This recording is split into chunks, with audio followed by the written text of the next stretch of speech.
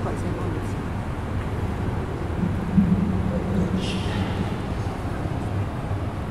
Abdi Nur Oktadiansa Saya nikahkan engkau dengan anak saya Zahra Nadia Elisa dengan mas kawin seperangkat pakaian sholat dan emas 14 gram tunai Saya terima nikahnya Zara Nabi Indonesia dengan mas kawin seperangkat pakaian sholat dan 14 gram dibayar tunai.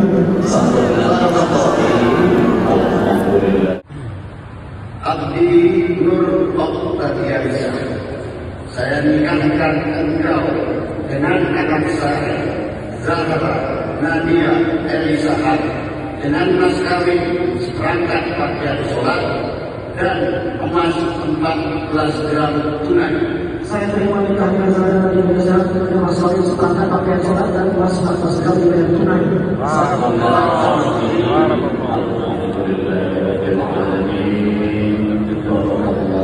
Assalamualaikum teman-teman, salam sejahtera untuk kita semua ya. Jumpa lagi kali ini saya mau membagikan sedikit cerita tentang pernikahan. Pernikahan adalah sebuah perjanjian suci yang dilakukan oleh seorang laki-laki dan perempuan guna membentuk sebuah hubungan yang halal di jalan Allah. Ikatan pernikahan juga dinilai menjadi bentuk ibadah terpanjang yang sangat mulia sampai maut memisahkan sehingga dalam praktiknya tidak boleh dilakukan secara sembarangan atau dipermainkan. Dengan menikah umat muslim dapat lebih mudah untuk membentengi diri dari perbuatan kotor dan keji. Itulah mengapa sangat dianjurkan bagi muslimin dan muslimah yang sudah saling mencintai untuk segera menikah, terutama bila seorang memang telah siap baik secara mental, fisik maupun finansial. Allah Subhanahu wa taala juga menciptakan semua makhluk dengan berpasang-pasangan. Hal ini sesuai dengan terjemahan surat Ar-Rum ayat 21 yang berbunyi dan di antara tanda-tanda kebesarannya ialah dia menciptakan pasangan-pasangan untukmu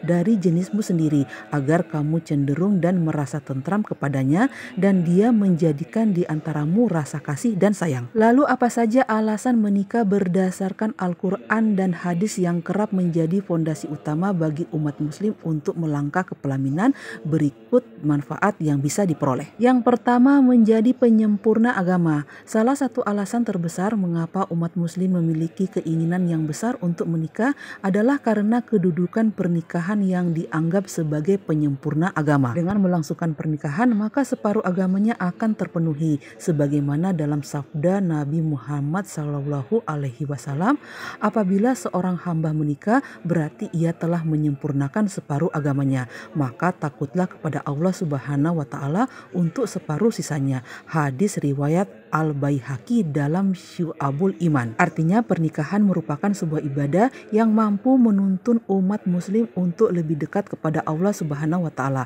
Pasangan suami istri bisa saling mengingatkan dalam hal beribadah sekaligus menjalankan peran sebagai istri, suami maupun orang tua bagi anak-anaknya. Yang kedua, melaksanakan sunnah Rasul.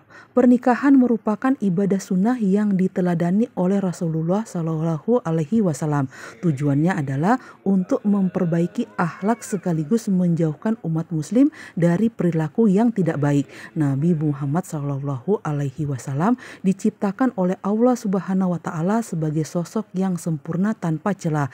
Kehadirannya dianggap sebagai suri tauladan dalam segala aspek kehidupan manusia. Itulah mengapa mengapa hendaknya sunnah Rasul juga dapat diikuti oleh setiap umat Muslim. Rasulullah Shallallahu Alaihi Wasallam bersabda, menikah itu termasuk dari sunnahku. Siapa yang tidak mengamalkan sunnahku, maka ia tidak mengikuti jalanku. Menikahlah, karena sungguh aku membanggakan kalian atas umat-umat yang lainnya. Siapa yang mempunyai kekayaan, maka menikahlah. Dan siapa yang tidak mampu, maka hendaklah ia berpuasa, karena sungguh puasa itu tameng baginya. Hadis riwayat Ibnu Majah.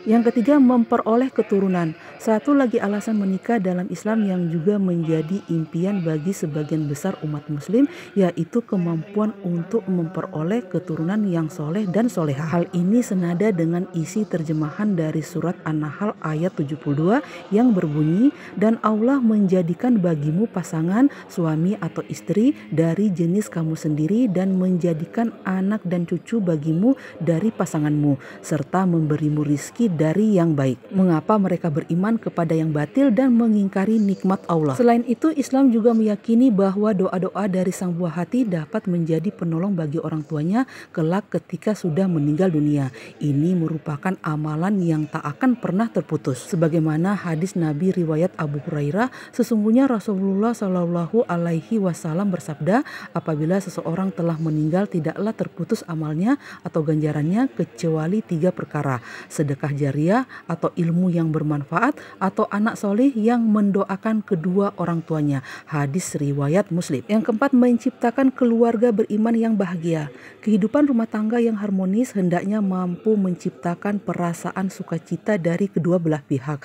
Sudah merupakan kewajiban bagi kita dan pasangan untuk saling melimpahkan kasih sayang satu sama lain. Kebahagiaan yang diraih pada akhirnya mampu mengantarkan kepada perasaan tentram yang nyaman sehingga akan lebih mudah untuk membangun pondasi keluarga beriman sesuai ridho Allah Subhanahu wa taala. Merawat, mendidik dan mengasuh anak juga termasuk ke dalam amalan baik yang wajib dilakukan oleh kedua orang tua. Dan orang-orang yang beriman dan yang anak cucu mereka mengikuti mereka dalam keimanan, kami hubungkan anak cucu mereka dengan mereka dan kami tiada mengurangi sedikit pun dari pahala amal mereka.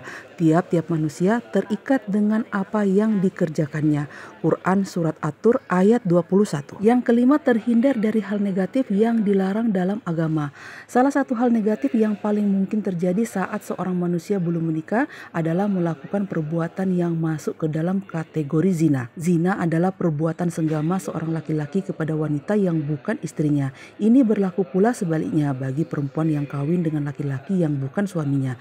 Persinahan adalah sebuah sebuah perbuatan keji yang termasuk ke dalam dosa besar, bahkan melakukan suatu hal yang mendekati zina saja sudah haram, seperti menyentuh lawan jenis yang bukan muhrimnya, berduaan di tempat sepi, melangkahkan kakinya ke tempat-tempat yang berpotensi mengundang maksiat dan lain-lain. Oleh karena itu, pernikahan adalah solusi terbaik bagi kedua insan yang sudah menyimpan rasa tertarik satu sama lain. Yang keenam, menyenangkan hati.